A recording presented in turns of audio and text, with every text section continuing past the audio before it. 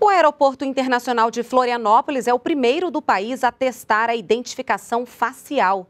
A nova tecnologia vai dar agilidade ao embarque, proteger passageiros e funcionários durante a pandemia e auxilia também o trabalho das forças de segurança.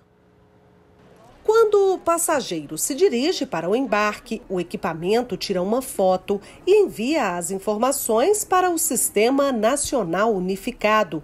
Em seguida, é feito o cruzamento entre diferentes bancos de dados do governo e a validação automática da identidade de quem está embarcando.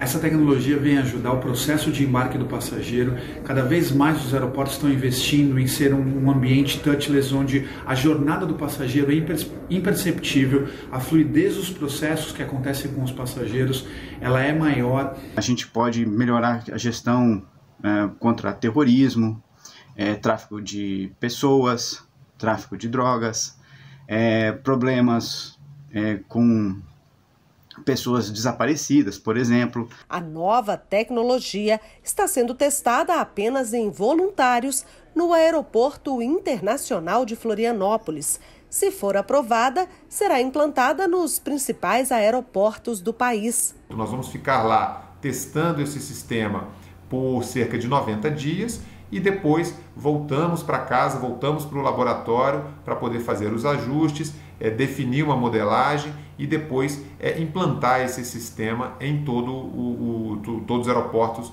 brasileiros.